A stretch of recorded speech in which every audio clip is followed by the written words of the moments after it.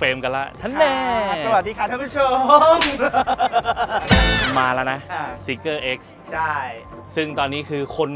มาลุมบรรตุ้มกันมาก แล้วก็ในฮอลล์ที่จัดแสดงตอนนี้มันมีรถ 3 คัน ใช่ แล้วก็มีข้างนอกอีกหนึ่งคัน แต่โอเค คันข้างนอกเนี่ยเป็นสีส้มอ่าซึ่งไม่ได้จำหน่ายนะ แต่ว่าคันที่เขาเอามาเนี่ย อันนี้คือเขาเอามาโชว์ 3 สี ใช่ รู้สึกจะมีเทาขาว มีขาวแล้วก็อีกสีหนึ่งน่าจะเป็น ก็จะเป็นสีขาวเหมือนกันนะ อ่า เออ เพราะว่าสีในในในครั้งเนี้ยเขามีการแบบว่าสีเทาหลายเฉดเหมือนกันนะ คือจริงเออๆเขาเขา present มาว่าเขาอิงในรูปแบบเมืองหลวงอ่าอ่าในแต่ละที่อืมมีเบอร์ลินมีเอเธนส์เอ่อแล้วก็มีในเมืองจีนด้วยอ่าซึ่งแต่ละสีก็มีที่มาแตกต่างกันออกไปค่ะใช่อ่าอันนี้ก็จะวุ่นวายนิดนึงเพราะว่าอ่าอันนี้คือเพิ่งจบจากงานเปิดตัวพถูอกดีต้องจริงๆอะถ้าเราพูดกันตรงๆนะครับค่ะเลท ก็นิดนึงชุบเนาะไม่นิดนึง ไม่นิดนึงอืมอืมแต่เอาเหอะอะวันนี้ถือว่ามาอย่างเป็นทางการ เปิดตัวอย่างเป็นทางการสำหรับประเทศไทยเนาะใช่ ตอนเนี้ยคนดูกันเยอะมากแต่โอเค เราให้ดูในส่วนภายนอกก่อนอะเราอาจจะดูภายนอกแล้วก็บรรยายไปนะ เพราะอะว่าเราก็เกรงว่าสมมุติเราเข้าไปปุ๊บเดี๋ยวมีคนอาจจะถ่ายภาพอยู่ถ่ายภาพอยู่อะเราก็เกรงใจอะตอนนี้ตะคืกล้องอแบบว่าลุมๆสื่อวลชกันอยู่ให้ความสนใจเยอะมากจริงๆ แรกแรกสัมผัสแรกเห็นนะสำหรับตัว Seeker X เนี่ยอืม เอาจริงนะรู้สึกว่าเฮ้ยมันดูล้ำสมัย มันดูแปลกตาด้วยแหละใช่เอาจริงนะ คือในบรรดารถไฟฟ้า ถ้าพูดกันตรงๆว่าตอนเนี้ยมันจะเป็นโคมไฟที่ออกแบบมาแทบจะแบบว่าเป็นชิ้นเดียวกัน ถูกต้อง แต่อันเนี้ยเป็นลักษณะที่แยกสัดเส้นสายชัดเจน ถูกต้องอะเรามาดูกันที่ไฟไฟ daylight ก่อนเลยเนี่ย คือแบบมันดูเป็นเนี่ยรูปตัว คือมันเป็นมันเป็นเส้นที่แบบว่าเออดูดีอะนะ แล้วก็ตัวไฟหน้าก็จะอยู่ตรงนี้เลย มันแยกชิ้นชัดเจนใช่ไฟหน้าจะอยู่ด้านล่าง อันนี้น่าจะเป็นตัวโซนที่เป็นไฟสูงนะแล้วคืออ่าตัวกล้องตัวอะไรก็เอ่อตัวกล้องหน้าก็จะอยู่ตรงนี้เลย ใช่ถือว่าคือออกแบบมาให้แบบดูล้ำสมัยเนาะ ใช่ใช่ใช่อะลองไปดูในส่วนอะด้านข้างซะหน่อยดูด้านข้างกันหน่อยดีกว่าล้อตอนนี้ เอ้ยคุณโดนล้อ นะอะเนี่ย นะนะเทคนิคเอาแกล้งมือหยอกหยอกหยอกตัวล้อที่เราเอามาท่านผู้ชมได้ดูกันนะคะท่านผู้ชมได้ดูกันเนี่ยก็คือล้อขนาด 20 นิ้ว สายยาง 245ทับ45 R20 อันนี้ใส่ยางของ Continental Eco Contact 6Q ตัวล้อก็ถือว่าสวยนะเอาถ้าถ้าจากที่ดูเนี่ยคือรู้เลยว่าให้ความมั่นใจในการขับขี่ได้ดีด้วย ใช่นะนี่แค่แบบว่ายังไม่ได้ลองขับอะแต่ดูแค่กายภาพอะคือรู้สึกเลยว่าเออเฮ้ย น่าจะได้แบบเอาอยู่อืม นะมา แล้วก็ตัวคิ้วอะซุ้มล้อจะเป็นสีดสีดำอยู่ดีๆลุกำไม่ขึ้นขึ้นสักขึ้นได้หอยไหมคะขึ้นได้ได้ได้แล้วค่ะ โอเค แล้วก็มาตรงที่กระจกข้างกระจกมองข้างเนาะก็จะดูแบบโอ้โห frameless มากนะคือมันไม่ได้ต่อ แบบไร้ขอบอะ มันไม่ได้ต่อเข้ากับตัวถังโดยตรงนะ ใช่ แต่คือถ้าถ้าท่านผู้ชมสังเกตเนี่ย คือปกติอะมันจะมีกรอบ double ใช่ขึ้นมาอีกใช่ชั้นหนึ่งใช่ แต่คราวเนี้ย อันเนี้ยคือกระจกเลย แล้วก็โอ้ ด้านใต้เนี่ยก็จะเป็นไฟเลี้ยว อืมแล้วก็มีกล้อง ซึ่งการมีกล้องซ้ายขวานั่นก็คือกล้องรอบคันนั่นเอง กล้นองเอรอบคันเลยซึ่งเอาจริง ๆ แล้วเราลองเทียบดูนะครับ อ่าเราลองเทียบดูนะครับ แถวบ้านเรียกว่าแกงหน้างานนะคะมีความคล้ายกันแต่จริง ๆ เราก็ต้องบอกแบบนี้ว่า อืม อ่าแล้วถ้าเราพูดกันในความเป็นจริงก็อะคือ รถคันเนี้ยมันใช้แพลตฟอร์มแชร์กัน ถูกต้อง กับ Volvo ซึ่งอันนี้บอกก่อนว่า ZEEKR เนี่ยอยู่ในเครือเดียวกัน Geely อ่า Geelyจีลี่เนี่ยคือเป็นแบรนด์ที่ใหญ่มากในจีน อ่าในจีลี่เขาจะมีเครือของเขาเยอะมาก อ่าอันใช่เดินมาอีก มีเยอะมากมีอืม Seeker อ่าเอ่อมีเดี๋ยวจะมีตัวกระบะมั้งถ้าจำไม่ผิด แล้วก็จะมี Lotus อ่าโลตัส Volvo อ่า Volvo อยู่ในเครือนั้นด้วย ใช่ ดังนั้นเนี่ยการแลกเปลี่ยนเทคโนโลยีสำหรับในเครือของเขาก็ถือว่าเป็นเรื่องปกติ แล้วก็ในอุตสาหกรรมยานยนต์ถือว่าเป็นเรื่องปกติมาก ใช่ นั่นแหละ อะ นะแล้วก็ตัวเฮ้ยฝามือจับเประตู มือจับประตูนี่คือดูแบบว่าเก๋มาก ดูดูเก๋นะออเก๋มากเก๋มาก เก๋มากแล้วก็อีกอย่างหนึ่งคือตัวกระจกมองข้างเนอะไอ้ยกระจกฝั่งเนี่ยกระจกหน้าต่างเนี่ยเป็นเฟรมเลสก็คือไม่มีขอบ นะเออ ก็คือมันจะไม่มีขอบโครงสร้าง ถูกคือแบบดูโล่งๆเนาะแล้วก็ประตูเฮ้ยอุ้ยอืมไม่กล่องแกล้งนะแล้วก็เวลาเวลาเปิดประตูมันจะค่อนข้าง เรียกว่าไงเดียอืม คือมันจะเป็นไฟฟ้าเป็นกรอนไฟฟ้าไงอ่า เนี่ยแต่เดี๋ยวต้องรอรออะพี่ๆเขากำลังถ่ายรูปกันอยู่อะรอกันสักครู่หนึ่งนะแต่ก็ถือว่าดีไซน์ดีนะดีไซเอาจริง ดีไซน์ดีแล้วดีไซน์สวยด้วยเพิ่งมาเห็นตอนที่ present อะถ้าถ้าถ้าที่นัตตี้สังเกตอะ คือให้อารมณ์แบบเหมือนเราดู Apple present ๆอะไรอย่างนั้น ใช่คือแบบเหมือนเราดู Apple กำลัง present อยู่เนาะอีกเอ่อตัวมือจับประตูมันจะเป็นแบบว่าถ้าล็อกรถมันจะปิดเนียนอ่าอะ เดี๋ยวลองดูนะ ปิดปุ๊บอ่าอุ้ยไอ้ยนันตี้ลองดู นันตี้ลองลองดูลองดูนะเอ้ยเพราะมันมันเป็นความรู้สึกที่แบบมันจะไม่เหมือนอะอ่าเดี๋ยวนะเฮ้ยแค่แตะแต่แล้วมันเอามืมัอนเข้าไปอะแล้วมันคือจะปลดกรอนมันจะปลด ใช่ คือมันมันมีเซ็นเซอร์เซ็นเซอร์จับเราอยู่ว่าพอเอามือแค่สอดเข้าไปปุ๊บเนี่ยมันก็ปลดล็อกให้แล้ว ใช่ เออดูดีมาก อะแล้วก็เราก็จะมาดูแผงด้านข้างก็ดูแบบเอ้ยดูสวยดูแบบเอ้ยวัสดุดีนะ ดี แล้วก็เนี่ยกระจกเปิดปิดกระจกก็จะดูรู้สึกว่าแบบดูสวยอะ่ะเฮ้ยดูมันเป็นก้านอะ่ะมาดูพื้นที่ด้านหลังไหมอะลองมาดูกันดีกว่า ผมว่าพื้นที่ด้านหลังเนี่ยคนที่จะสามารถนั่งได้ดีที่สุดนะอะทีมเข้าไปหน่อยดิเอ้ยอยากเอาเอาคนตัวไซส์ XL อะอะ ทีมเข้าไปก่อน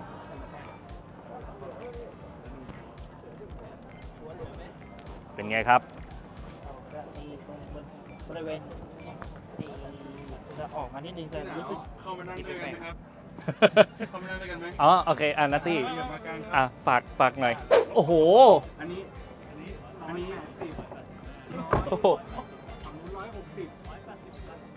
สิบกิโลอ่าร้อยเจ็ดสิบสองครับ น้ำอ่าความสูงครับตอนนี้ช่วงตอนนี้ช่วงล่างเป็นถุงลมกันนะเต็มฟูฟูโหลดนะฮะเห็นเห็นได้ชัดครับว่าทริป นี้เราไม่ควรไปด้วยกัน ไม่ควรอย่างยิ่งครับ เดี๋ยวนะครับผมว่าผมมีคนที่สามารถนั่งได้มากกว่าผมอีกครับเอาอีกอะแล้วเหรอเชิญครับ เชิญครับคุณคุณนพพัฒน์อะไรวะนี่เอาจริงๆนะอะเอาพูดสั้นๆก่อนครับพี่แพนมานะครับ ผมยังไม่ทันได้หย่อนลงไปหนึ่งร้อยเปอร์เซ็นต์ครับยังไม่ทันได้ยกขาเข้าไปในรถ ก็รู้สึกได้ว่าลุกเถอะอืมอันนี้ไซส์ XL นะ คือเอระยะนั่งอะไรคุณเงี้ยสูงเท่าไหร่ก่อนอะสูงประมาณ 160 แต่ว่าไอระยะที่นั่งอะไรเงี้ยมันก็โอเคนะ แต่ว่าติดตรงนี้บอกลองนั่ง ใช่ เพราะว่ามันเหมือนแบบออกมามากไปหน่อยทำให้รู้สึกแบบอึดอัดอะไรเงี้ยเวลาเราเรานั่งอะไรเงี้ยอืมแต่ว่าแต่ว่าสุดท้ายที่สุดครับ คุณมาลองนั่งโอเคเดี๋ยวคุณไปนั่งกันสองคนเดี๋ยวเดี๋ยวเดี๋ยวเดี๋ยวอะนัตตี้เข้ามาเลยขาติดไหมแป๊บหนึ่งนะขาติดปะขาติดไหมหนาว ไม่ติดไม่ติดไม่ติดอะพื้นที่เหลือพื้นที่เหลือ อะพอนัตตี้เข้ามาปุ๊บ สิ่งแรกที่รู้สึกว่าเท่าไหร่165 166 ครับผม พูดกันจริง ๆ นะถ้าเอามันมันมีความรู้สึกว่า คือมันนั่งได้ไหมมันนั่งได้ อ่ามันนั่งได้นะ แต่ว่าอะสรีระหนาวตัวมันใหญ่ มันด้วยด้วยความที่เบาะมันสโลปเข้ากับสรีระอืมคือผมตอนนี้มันจะมันจะเกินตัวเกินเบาะนิดนึง อ่าเนี่ยแหละฮะ ก็อันนี้เราให้ความเห็นแต่ก็ก็ก็คืออย่างนั้นจริง ๆ นะ เพราะว่า อะตัวตัวคุณเล็กกว่าผม ใช่ คุณนั่งพอดีปะคือพื้นที่เหลือแล้วคือแบบ คือแบบเบาะแถวหลังอะคือรู้สึกว่านุ่มแล้วก็กระชับเฮ้ยนุ่มจริงกระชับพวกพวกวัสดุหนังหรือแม้กระทั่งฟองน้ำที่ใส่ในแล้วในก็ตัวอีกอย่าเบาะงหดีนึ่งที่ต้องชื่นชมก็คือรู้สึกว่านั่งแล้วไม่อึดอัดเพราะว่าเพดานข้างบนเนี่ยคือปล่อยโล่งเลยอ่าคือรู้ด้วยความที่ว่าเป็นกระจกด้วย มันก็เลยรู้สึกว่าเออเฮ้ยมันทำให้แบบรู้สึกว่านั่งแล้วไม่รู้สึกว่าอึดอัดด้วยใช่ใช่อันนี้อันนี้อันนี้ดีมากๆตรงที่ว่าหลังคามันไม่ได้ลาดลงมาใช่อันนี้ถ้าเราพูดกับคู่แฝดโดยตรงอย่าง Volvo EX30 อืมอะเดี๋ยวคนจะถามว่าทำไมเราต้องพูดแบรนด์นี้อ่าใช้แพลตฟอร์มร่วมกันนะครับอ่าดังนั้นเนี่ยเรารู้สึกได้ว่าอันนี้โปร่งกว่าเนี่ยใช่อันนี้มันเป็นหลังคากระจกนะ และหลังคากระจกอันนี้ไม่มี sunshade ก็คือไม่มีแผอ่าม่านบังแดดถูกต้องก็เลยทำให้อ่าแน่นอนว่าเรื่องของเจอแดดร้อนแดดเดอะ แดดร้อนๆเนี่ยอาจจะมีมีร้อนหัวแน่นอน อ่าแต่คิดว่าเขาน่าจะทำพวกเคลือบกันร้อนมาแล้วอะไรอย่างเงี้ยใช่แต่ยอมรับว่าเอียงไม่ได้ตัดปรับเอนไม่ได้ครับเรียนไม่ได้ครับผม เบาะปรับปรับเอนหลังอะไม่ได้ได้แต่ถ้าพับอะได้ใช่ แล้วก็อีกอย่างหนึ่งที่เราสังเกตเลยก็คือมีแอร์แถวหลังให้ด้วย เออแอร์ช่องแอร์จะอยู่ตรงจะอยู่ด้านด้าน เสาบีอ่าอ่าอยู่ตรงเสาบี อยู่ตรงนี้เลเลยยคันนี้มีตู้เย็นด้วยจากขาว ตรงไหนฮะตร อ๋อนี่นี่นี่นี่นี่เดี๋ยวนะเดี๋ยวนะ ผมหาวิธีก่อน ครับผมอะเปิดตรงกลางเปิดตรงกลางให้น้องหน่อยปึ๊บว่าอ๋อ โอ้โหแช่ได้นะคะตู้เย็นมาด้วยนะอ่าเฮ้ย มีตู้เย็น ไม่ใช่ ไม่เฮ้ยใช่แต่เย็นจริง แต่เย็นจริง อันนี้มีปรับในเดินปรับความเย็นนะ ก่อนที่เราจะพาท่านผู้ชมไปดูเบาะแถวหลังเนี่ย ตัวที่เอาไว้ชาร์จก็อยู่ด้านซ้ายนะอ่าแล้วก็กดง่ายๆเปิดรองรับทั้ง AC แล้วก็ตัว DC นะ ใช่ ก็ตัวแบตเตอรี่เนี่ยอ่าถ้าเราเปิดดูสเปคโดยตรงนะ อะ คือเขาจะมี 2 ขุมพลัง นั่นก็คือตัวที่เป็น Standard อ่า Standard Range เนี่ยเขาจะมีแบตเตอรี่ขนาด 67 กิโลวัตต์ชั่วโมง อืมเอ้ย ขออภัย อะ เดี๋ยวนะเพ ราะว่ามันมี 2ขุมพลังอ้าว67 กิโลวัตต์ชั่วโมงอะอ่าพละกำลังของเขาเนี่ยมอเตอร์ขับเคลื่อนล้อหลัง 272 แรงม้าอืมแรงบิด 343 นิวตันเมตรใช่เขาเคลมไว้ว่าการถ้าเกิดชาร์จเต็มถัง 100%วิ่งได้ 540 กิโลเมตรในมัรุ่ดนตัว standard ตัว standardดาร์ดใช่ แต่อันนี้ในเขาเรียกว่าเขาใช้ rate NEDC อะอ่าใช้ NEDC นะแล้วก็เคลมไว้ว่า0ถึง100ทำได้ 5.6 วินาทีอะ ส่วนการชาร์จ AC เขาจะรองรับได้สูงสุด 22 กิโลวัตต์ ถือว่ามากสุดแล้วใช่ แล้วก็ DC 134 กิโลวัตต์ ในขณะที่ตัว Twin Motor หรือตัว Flagship ไอตัว Flagship เนี่ย แบตเตอรี่ขนาดเท่ากันนะ 67 กิโลวัตต์ชั่วโมง แต่มีมอเตอร์ด้านหน้า ปุ้งอะแรงม้าก็จะเป็น 428 แรงม้าอืมแรงบิด 542 นิวตันเมตร อันนี้ระยะทางที่วิ่งได้จะลดลงเหลืออ่า470 กิโลเมตรนั่นเอง มาดูบั้นท้ายของตัว Seeker X นะครับ ก็ สิ่งที่สำคัญที่สุดก็คือ เรามีนะ ที่ปั่นน้ำฝนหลังเหรอ ใช่ สวัสดีสวัสดีเรามาอย่างเอ็นนิดอันนี้เป็นออปชันที่ควรจะมีนะ เอาจริงๆนะ เพราะว่าแล้วก็ดูแบบของคำว่า Seeker อะดูแบบ เฮ้ย มันดูแบบพรีเมียมอะ ลองดูลองดูใกล้ๆ ลองดูนะใกล้เนี่ยมันดูแบบดูแล้วแบบพรีเมียมจริง ๆ มันไม่ใช่แบตแบบแปะ ๆ มันเป็นมิติเขาเรียกว่ามันเป็นมิติเลยอะ อะมันเป็นสามมิติอะเนาะอยู่ข้างในใช่ เออะ อแล้วก็ตัววิธีการเปิด โอ้นี่ดูพรีเมียม อะเรามาเปิดดูด้านหลังว่าเป็นยังไง ก็มีที่วางของมีเพิ่มที่วางเติกล่มองวางใส่ของกระจุกกระจิกเนาะเล็กๆน้อยๆนะ แล้วก็ตัวอันเนี้ย เอ้ยเอาออกได้นะอันเนี้ยอืมออกได้ อ่า อะแล้วก็ปึ๊บอืมอะ งั้นนะอืมปุ๊บ นี่ นะหนาว ใช่ตะระแรงตะระแรงไม่ใช่ไม่ใช่ไม่ใช่ นี่เราก็สามารถพับเบาะได้เฮ้ยแต่เบาะพับลาบเออนะเนี่ยพอออกมาปุ๊บพูดไปก่อนอะอะพอพอพับเบาะแล้วเนี่ยเฮ้ยมันมันก็พับได้เรียบเลยอะเออนะแล้วก็เอออีอีกอย่างหนึ่งที่เรารู้สึกเลยก็คืออะหนาวถือไว้ก่อนนะ อะโอเคเออโอเคเดี๋ยวเดี๋ยวเดี๋ยวเดี๋ยวเดี๋ยวพ่อพ่อพ่อพ่อพ่อโอ้โหเออคุณมีความคิดเห็นยังไงครับ อืมในการที่คุณจะแคมป์นะครับโดยใช้รถคันนี้ อืมคิดเห็นยังไงครับ ไม่ได้ ไม่ได้ใช่ไหมมันมันมันมันไม่ได้เหมาะเป็นรถกระบะครับบอกมาก็ยาวขนาดนั้นอะถามว่าใช้งานทั่วไปไหมแต่ว่าถ้าเกิดว่าเบาะแถวซ้ายเนี่ยมันพับเรียบไปได้มันจะโอเคนะ แต่คือความยาวมันไม่ได้ข้างหลังเว้นแต่แบบเราจะเปิดข้างหลังมาแล้วห้อยมุ้งแต่คำถามจะเปิดแอร์ไงอะอืใช่ไหมมอ่านี่ตอนนี้ตอนนี้ความพยายามของคุณเกียรติศักดิ์ก็คือนี่ครับ นอนแล้วนะน้ องนัตตี้จะพาไซต์ทีมสวัสดีค่ะตอนนี้เราอยู่ไลฟ์ซ้อนไลฟ์นะครับ ตอนนี้พับเบาะและนอนโชว์แป๊บนึงนะครับนอนโชว์นี่ให้นี่คือออให้ริจิคนนอลจีนได้พระดูเบาะนอนสันเขื่อนอยู่นี่โเคว่าเนี่ยมันทำได้นะวันนี้เด็ดนะครับผมพักเบาะนอนสันเขื่อนในคันนี้ เฮ้ยได้อยู่นะ ได้ได้ได้พับเบาะ นอนขวาด่ากันแหละบนสันแต่แต่เอาจริงเนี่ยคือเออถ้าสมมุติว่าเราเอาไปขนของอะคือขนของได้นะทีวียังได้ เราเราทำตัวเป็นทีวีหรือเป็นเสาอะไรสักอย่างนะครับพี่แพนขนาดเล็กกว่า CRV ไหมมีคนถามว่าขนาดเล็กกว่า CRV ไหมอะพูดกันตรงๆเล็กกว่านะเล็กกว่า NRV ด้วยซ้เออใช่นะเล็กกว่าอะได้ป่ะได้ป่ะได้ป่ะอะปึ๊บอืมำ เดี๋ยวมันมีโหมดหนึ่งที่อยากให้ทุกคนไปดูอะไรคอะรับเดินไปดูข้างรถกันอะข้างรถอีกแล้ว ไอตัวเป็นจอใช่ไหมไม่ มันจะมีโหมดที่เป็นรูปเท้าอ๋อคุณเห็นตรงนี้ไหมครับอ๋อนี่ไงเดี๋ยวนี่จะอธิบายให้ฟังเราบอกอ่าคือโหมดนี้เขาเรียกเทสโหมดนะครับ ก็คือจะเป็นโหมดที่อ่าเปิดเฉพาะ climate หรือว่าพวกระบบปรับอากาศข้างในนะครับอืมเพื่อที่จะ เอาสัตว์เลี้ยงนะครับ หมาแมวหรืออะไรก็ตาม หรือเอายีราฟสิงโตปลาโฮปลาวานปลาบูเดี๋ยวเดี๋ยวเดี๋ยวอยากหลังไม่ได้เอาเหรออันนั้นเขาเป็นสัตว์เลี้ใส่ยงตู้เหมือนกันอ๋อใส่ตู้เอโออเคไดโนเสาร์ยังได้เลย แล้วแต่เลยมีสปาเตอร์แบเอ้ยงอย่าร้องอย่าร้องอย่าร้องลิขสิทธิ์ลิขสิทธิ์ลิขสิทธิ์ลิขสิทธิ์ก็โหลดแอร์นะครับเน้นแบบเอาสัตว์เลี้ยงไว้อ่าเป็นคนอยู่เอาเด็กอะใช่ อันนี้นะคืออะเนี่ยหนาวมาอยู่ฝั่งคนขับแล้วรู้สึกยังไงบ้าง เอาจริงๆ เอาจริงๆ นะ สิ่งที่เรายอมรับอีกอย่างหนึ่งคืออม การที่มันมีคอนโทรลหรือจอแสดงผลอยู่ตรงพวงมาลัยอะอืม ไม่เหลือไหมรู้สึกว่าเราสามารถคอนเซนเทรตในการขับอย่างเช่นเราขับ เราไม่ต้องมาเหลตามองอืม อืม อะเองไปนั่งกลางเดี๋ยวพี่แล้วก็มีจอ Head Up Display ด้วยนะสำหรับอืมตัว Flagship ใช่ใช่อันนี้อันนี้ตัว Flagship อะเดี๋ยวนะ อะ เดี๋ยวเปิดเปิดประตูให้ ก้าวในไซส์เล็กกว่าพี่แมนนิดนึงนะเข้าไปนั่งค นหนึ่งเอาแล้วเอาละ content ต่อไปนี้นะครับไลฟ์ซ้อนไลฟ์นะครับ เรามีทั้ง Carsideteam นะครับโอ้โหคุณดูฮะอะไรครับเนี่ยอะไรครับเนี่ย โอ้โห ก็เขาว่ากันตามตรงนะครับ ปิดเอาปิดเอาปิดทำไมต้องลำบากกันขนาดนี้โอ้โหอันนี้ ไม่เป็นไรไม่เป็นไรลูก คือใช้คำว่า อะไลฟ์อยู่เอางี้ครับ ครับ ผมถามเลยนะครับ ครับ ถ้าผมตัว โอ้โหอะครบถ้วนเป็นยังไงบ้างครับพี่แพรครับง่ายๆนะครับอะกูเกลียดพวกมึง เอาแบบเนี้ยนั่งสามเนี้ย อย่างนี้ครับ ถ้านั่งไปเมือง เออ แบบว่าใกล้เอาๆยังพอได้เอาจริงนะแต่ถ้าให้นั่งจากนี้ไปชลบุรีคงมันดีใช่ป่ะไม่ไหว ไม่ไม่ต้องชลบุรีไปถึงตรงใช่อันนี้จุดพักรถเปิดกักูนไม่นั่งแล้ว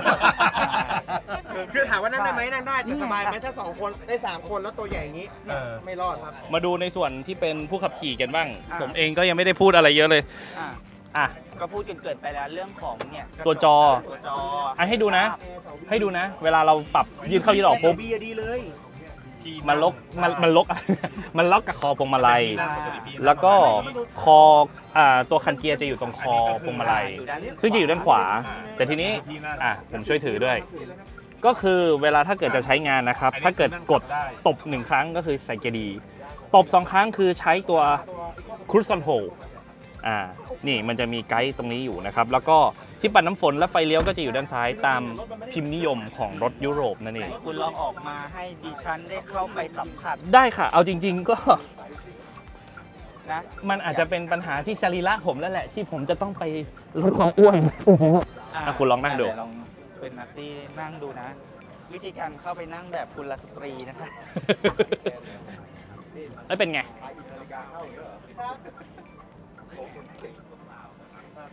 คนมาเม้นบอกเข้าไปได้ไหมเดี๋ยวโอ้คนทานมากครับอะนัตตี้เป็นยังไงสำหรับตำแหน่งของการขับ เอาจริงนะ รู้สึกว่าสำหรับสรีระน้องน้องนัตตี้เนี่ย อืม รู้สึกว่ากระชับ อ่า เออรู้สึกว่ากระชับ แล้วก็ปุ่มฟังก์ชันเมนูอะไรหลาย ๆ อย่างอะรู้สึกว่าโอเค มองรู้เรื่อง อืม คือไม่ต้องแบบอุ้ยคือปัญหาหลักที่เวลาตอนเนี้ยรถไฟฟ้าที่เราเจอกันก็คือเวลาเราขับรถ เราจะต้องมาคลำหาหรือเราจะต้องมาดูปุ่มแต่ละปุ่มอืเนาะม อันเนี้ยคือเข้าเข้ามามองปุ๊บเอ้ยรู้เลยว่าอะปุ่ม เฉินอยู่ตรงนี้ เกียร์อยู่ตรงนี้นะ แล้วก็อะปุ่มเพิ่มอะไรอย่างเงี้ยเขามีผู้ช่วยด้วยนะเขามีผู้ช่วยด้วยนะ Play Music นะ Honda City 1.0 แต่ว่าตัวกลัวอย่างเดียวนะ มันไม่มีเพลงครับ ถ้าเพลงรันขึ้นมาเนี่ย นะแล้วก็คุณปิดเสียงเลยนะเรื่องเรื่องของปุ่มอะไรเนี่ยคือเข้าใจง่ายเนาะปุ่มโฮมแล้วก็ตัวรถโอ้เฮ้ย touch ติดมือ เฮ้ยดีดีเฮ้ดีย ผมถือว่า เฮ้ย30 ชัดเจนวิ่งวิ่งสนุกเกินไปละสนุกเกินไปละนะอะลองปัดอ๋อเข้าใจง่ายเข้าใจง่ายเลย แล้วก็เนี่ยพอพอสมมติว่าเราปัดปัดปัดลงมาปุ๊บก็คือเข้าใจปุ่มเปิด exterior เอ่อ exterior light อะเปิดไฟข้างนอกหเนาะ CSD แล้วก็ car control ก็จะมี Head Up Display อะไรอย่างเงี้ยเนาะมีสามารถปรับอะไรง่ายๆอะแล้วก็มี Parking Comfort Less Mode Theater Mode Pet Mode เนาะคือเข้าใจง่ายๆเฮ้ยเดี๋ยวนะเลยคุณลองกดคำว่าคาโหมดหน่อยสิไอพวกเป็นพวกโหมดต่างอะอย่างเป็นอะไรเอาเอาเป็นปุ่มไหนดีๆผมแรกสุดเลยก็ได้นะอะปุ่มแรกสุด อ่ามันจะเปลี่ยนปะ The Pet Mode is deep อ๋อ ตอนนี้ก็ปิดโหมดนี้นี่ไปเรียบร้อยแล้ว แต่คือสิ่งที่สังเกตเลยอะตัว interface เนี่ย ก็คือจะ real-time เลยว่า เอ้ย เปิดประตูปุ๊บ อืม ปิดประตูปุ๊บ เขาจะรู้ แล้วก็มีสัญอ่ามีสัญลักษณ์ข้างหลัง อะไรอย่างเงี้ยอ่านี่คือนี่เรานี่จะบอกได้เลยด้านข้าง ด้านข้างก็จะหายไปละ อ่าอ่าเสาด้านข้างก็จะหายไปเอาละ เป็น rest mode แล้วกันโหมดพักผ่อน race race mode นะครับไม่ใช่ race mode นะครับอ่าถ้า race mode นี่คือรถแข่งแล้วนะ เนี่ยก็สามารถตั้งเวลาได้ว่าจะเอากี่นาทีสกรีนจะ off ไหมแล้วก็อ๋อสามารถเซตได้เนาะสำหรับเป็นโหมดแคมปิ้งอะไรประมาณนี้อ่า เนาะเข้า มานั่งเล่นกับเจ้ากล้าวโอเค เรียกว่าเหมือนจะมีตัว wireless ไว charge เลสด้วย นี่ลองดูซิแต่ว่าใส่ก็ดีแล้วนั่นนะนั่นถ่ายกันนะอันนี้น้องทีมนะครับนี่เข้ามาใส่ปึ๊ปึ๊บบอันนี้ไอ้หนาวครับโอเคนะเฮ้ยโอเฮ้ยเคโอเค นี่ขนาดใส่เคสนะ ใส่เคสพอดีด้วยน้องลองเปิดกระจกสิเออโอเคนะ มันพอดีตัวนะ อันนี้คือจอน่าจะใหญ่ที่สุดแล้วใช่ไหมใช่ จอน่าจะใหญ่สุดแล้วเพราะด้วยความที่มันเป็น S 20เท่าไหร่นะ S 23ใช่ไหมนะโอเคอะแล้วผมไปเปิดแฟลชทำไมวะเนี่ยนะเอ้ยแต่แต่สิ่งหนึ่งที่สังเกตเลยคือโอเคโอ้เปิดเฮ้ยมาเก๋ปุ๊บนี่เราก็แบบทำนู่นนี่นั่นอะไรได้ที่ใส่แก้วหนึ่งช่องเนาะเออเนี่ยเป็นที่พักแขกครับเอ้ยก็โอเคได้อยู่นะแต่คันนี้คือเฮ้ยเดี๋ยวนะดูดีขึ้นมาอ๋ออันี่คือเป็นใส่ที่เหมือนไว้ใส่ของใส่ของมีตัวดีขึ้นจริงครับคือวัสเอ๊ะดุเนี่ย อะอย่างก็ครับเป็นน้องตรงนี้เนี่ยเอ๊ะเดี๋ยวขอเปิดไฟดูสิมันคือมันคือปุ่มแกนจริงๆคือฮะปุ่มอะไรอะเฮ้ยมันเป็นช่องชาร์จหรืออะไรปะซึ่งไม่รู้สิมันจะมีแบบพวกวัสดุโลอ๋อหะเออตรงนี้ถ้าเป็นที่เปิดประตูโอ้เออแต่อันเนี้ยคือแบบเปิดได้แต่คือสิ่งที่สังเกตคือมันเป็นอาจจะแปะให้ดูปุ่มอะไรสติ๊กเกอร์ที่กดกดกดเนาะอ่าอะแล้วก็อีกอย่างหนึ่งที่เราสังเกตเลยก็คือจะมี อ่า USB Type C ให้ 2 ช่องเนาะอ่านี่สองช่องเลยคือว่าเราจะเข้าโหมดอีเวียนตรงไหน เข้าใจง่ายๆตรงที่ก็ทักทายกันตามอัธยาศัยอินทีเรียติต้องอินทีเรียเนาะชอบหรือเปอ๋อล่านี่แอมเบียนไลท์อยู่นี่ครับปึ๊บบอกนั่นอ่าเปิดปิดได้อันนี้ปิดแล้วอันนี้เปิดสังเกตได้ว่าหรือเฉพาะตัวเออกล้องกล้องเนี่ยเขาบอกว่ามี 720 องศานะ โอ้โหเฮ้ยเฮ้ยกล้ องกล้องชัดอยู่อยู่ว่านะชัดนะ ไม่ไม่ไม่ขี้เหร่นะนี่ดูด้านหลังก็ได้อะลองลองไปสามมิติดิปึ๊บแอร์ที่เสาบีนี่อ๋อ เออ ใช่ อ๋อเออนี่เรียนรู้จากวอลโว่เนี่ยลองดูนะ บริษัทแม่ของวอลโว่นะครับอ๋อ มันมีปรับตั้งค่าได้ โอเค เฮ้ย ดูดีนะ ดูดีนะ เอาจริง ดูดี แต่อันเนี้ยแล้วก็มีปาร์คก็คือ อันนี้เหมือนจะใช้ในเรื่องของการจอดรถ ใช้ได้นะ ใช้ได้นะ แล้วก็ เข้าใจ คือรู้สึกว่ามีหนวกเข้าใจง่ายนะทำมาดีทำมาดีนะครับผม แล้วก็ตัวอันนี้ก็จะแบบบอกบอกอ่าเรื่องบอกของลมยางใช่เข้าระบบเนาะแล้วก็เวลาสมมุติว่ารั่วอ่าลมยางรั่วก็จะก็จะแจ้งเตือนได้อ่านี่อะเดี๋ยวนะ ขอลองดูดิ เมื่อกี้ผมเห็นอย่างหนึ่งก็คือตัว lighting นี่ปรับโอ้โหแสงคุณอยากได้แสงเท่าไหร่คุณปรับไปเลยค่ะ อยากได้แบบแสงสีชมพูก็เรื่องของคุณเลย ดังนั้นเรื่องของ แอร์นะครับก็เอาไว้เดี๋ยวเราสีส้ม จับรถมีมี music show ด้วยนะ อะฮะ music show คือมันน่าจะต้องเปิดเพลง เปิดเพลงแล้วมันก็น่าจะเล่นตามเพลงนั่นแหละใช่อุ้ยตั้งค่าจานไฟได้ อ่าเออ นี่นี่นี่นี่นี่นี่ไม่รู้ว่าเห็นหรือเปล่านะ อ่าให้ดูนะ อ่าระดับ2ระดับอ่า3 ระดับ 4 ระดับ 5 ระดับ 6 อ่าอ่าเฮ้ย มันทำได้ทำเก๋ได้ไก่ทำได้คือทุกอย่างมันควบคุมกันอยู่ที่หน้าจอนี้เลย อ่าแล้วก็ไหนลองเข้ามาดูที่ตัวนี้ โห เยอะมากแต่เฮ้ยมีก็ตัว CarPlay เนี้ยรองรับตัว Apple CarPlay อ่า Apple CarPlay แล้วก็ Android Auto ด้วยอ่านะโอเค มาโอเคไปเดี๋ยวเราไปดูข้างนอกกันี่บ้านี่งนี่เวลาเปิดประตูนะ นี่ง่ายๆกระจกก็จะขึ้นนิดนึง อุ้ย เป็นโชคอืมโอเคแล้วก็มีนเป็นโชว์จุดเก็บของอะเก็บแบบ จุ๊กจิ๊กอ่าพอได้พอได้นะอยู่แล้วก็แล้วที่เติมน้ำอยู่ตรงนี้มองง่ายแล้วก็จะมีตัวน้ำหล่อเย็นอยู่ตรงนี้นะครับ ซึ่งอันนี้ๆคือมันจริงๆเป็นระบบที่เราไม่ต้องไปยุ่ง เรายุ่งแค่เติมน้ำปัดใบปัดน้ำฝนแค่นั้นเองถูกต้องนะโดยในการทำตลาดของ Seeker X ในประเทศไทยก็จะมีทั้งหมด 2 รุ่นใช่นั่นก็คือรุ่น รุ่น Standard ราคา1ล้าน1แสน99,000 บาท และ รุ่น Flagship ครับ อันนี้เป็นมอเตอร์คู่ราคา1ล้าน3แสน49,000 บาทเนาะอ่าทีนี้ใครที่อยากจะไปดูคันจริง อยากจะดูคันจริงเห็นเห็นเห็นไลฟ์ตอนนี้หรือเห็นคลิปย้อนหลังตอนนี้อยากดูอยามากกมาสัมผัสตัว Seeker สามารถไปสัมผัสกันได้ที่ Seeker House ๆอะ Seeker House เดี๋ยวจะมาแต่ตอนนี้จะเป็น Seeker Pop Up Store อ่าซึ่งจะมี 4 แห่งทั่วกรุงเทพนะครับอืมแล้วก็เดี๋ยว Seeker House เขาก็จะอืม ตั้งโชว์รูมเขาเรียกว่าเป็นโชว์รูมเลยละกันอะทั่วประเทศ 17 แห่งภายในปีนี้ ใช่ นั่นเองนะครับ แล้วก็ เสริมนิดนึงครับ ว่าเราจะทราบกันดีเนาะว่าเขามีแคมเปญ 500 คันแรกแถมฟรี wall box charge อ่าที่เป็นของ VREMT ที่เป็นแบรนด์ของทาง Zeekr เลย แว่วๆว่ายอดจองตอนนี้แตะ390คันแล้วอุ้ย อุ้ยเร็วมาก เร็วเร็วเร็ว เร็วมากเร็วมาก แล้วก็มีแค่ 500 โควต้านะ โควต้า 500 คันเท่านั้นถูกต้องติดตั้งด้วยได้ฟรีด้วยก็คือเอาง่ายๆคือได้ทั้งวอลชาร์จและฟรีติดตั้งอะอ่าอ่าในนะ500คันนี้ก็คือคุ้มแล้วอะมูลค่า 50,000 บาท ใช่แล้วก็การรับประกัน อ่า นี่คือหลายคนคือคงสงสัย รับประกันจะมีการรับประกันตัวรถเนาะ 5 ปีหรือ 150,000 กิโลเมตร ใช่ค่ะ แล้วก็การรับประกันตัวมอเตอร์และแบตเตอรี่ โดยเฉพาะมออ่าแบตเตอรี่ High Voltage นะครับ จะอยู่ที่ 8 ปีหรือ 180,000กิโลเมตรใช่ค่ะอ่ายังได้ยังหนึ่งถึงก่อนนะ อ่าก็ถือว่าไว้วางใจได้ แล้วก็ถ้าสมมติว่าท่านผู้ชมหรือผู้ที่สนใจอะอยากจะเอาคันเอ่อถอยคันนี้อ่าก็พีเวลเอ่อได้ประกันชั้นอ๋อหงประกันด้วยอ่าประกันชั้นหนึ่งฟรีแล้วก็มี road assistantอ่าดูแลช่วยเหลือฉุกเฉินแล้วก็24 ชั่วโมงช่วยเหลือตลอด 24 ชั่วโมง 7 วัน อืม แล้วก็ mobile service นั่นเอง อ่าทั้งหมดนี้คือ Zeekr X นะครับ ซึ่งเรื่องของการลองขับนั้น เดี๋ยวเรารอทาง Zeekr ประเทศไทย เชิญชวนสื่อมวลชนอ่าเดี๋ยวรอดูกันว่าณวันช่วงเวลาน่าจะเร็วๆนี้แหละ เดี๋ยวมีเชิญชวนไปลองขับ Zeekr X แน่นอนอืมซึ่งโอเค